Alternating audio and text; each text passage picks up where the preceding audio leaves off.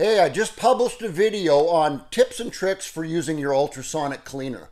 If you missed that one, I do got a link up here for you in the information button, a quick link there for you. Check that out when you get a chance. On that video, a lot of you guys are putting comments down with more tips and tricks. So I thought I would just do a quick update here for you guys and share more of this stuff with you and clarify a few things.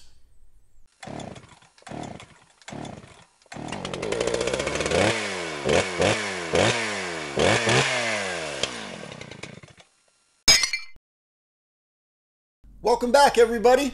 Hey, you know what? I have noticed lately that we are getting way more traffic on our website. I think you guys are liking it. If you guys haven't checked it out yet, right there, stevessmallenginesaloon.com. Got a quick link up there for you in the information button, too. Check that out when you get a chance. So, this is the update for my other video.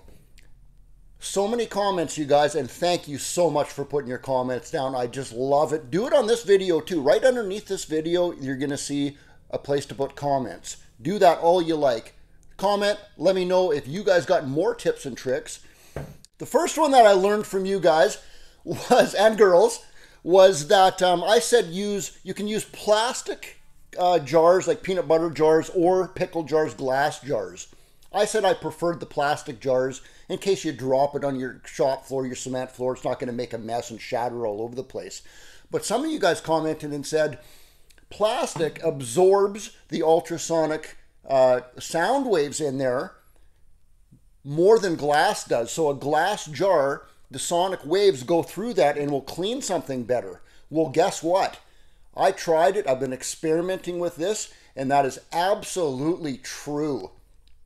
When I take two uh, jars like that, one's plastic and one's glass, and I put the identical cleaning solution in it and the identical part in it, put them both in there, the glass jar definitely does clean faster. So that is a great tip right there. Glass jars.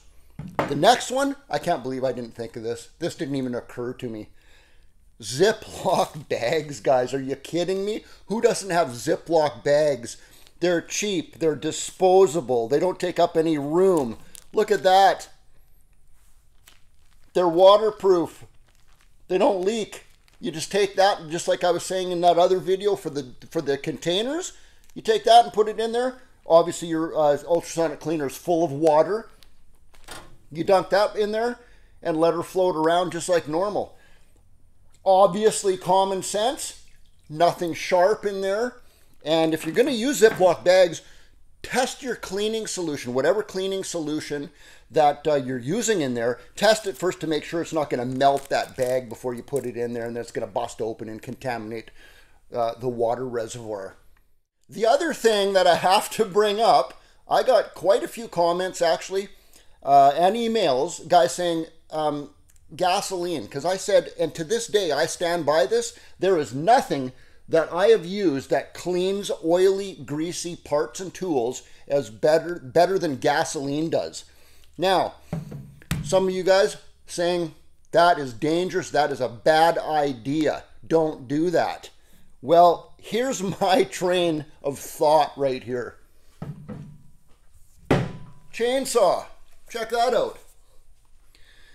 You put gasoline in there, it's a plastic tank. It is that far away from the spark plug or the the uh, the high tension lead going to your spark plug is laying right on top of that tank, that far from your gasoline.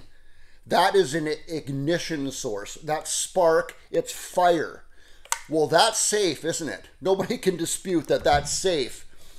But some of you are saying that I put gasoline in a in a plastic container or a gasoline or a, a glass container like that ultrasonic cleaner is full of water. You put that in there and let it float around, and that's unsafe.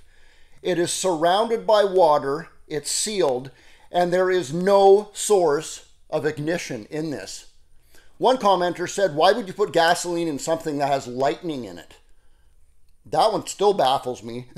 There's no lightning in there, it's sound waves. That's all that's in there. It's not going to ignite gasoline on fire. So that's safe and that's not safe. I can't wrap my head around that. I don't agree with that. I'm not buying it.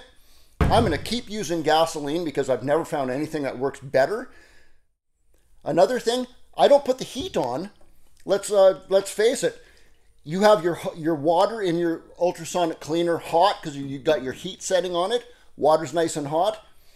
By the time you put that uh, container in there, the part is already going to be clean before it can heat the gasoline up anyways so there's no point in even having your your heat setting even on. Leave the heat setting on off if that makes you feel better.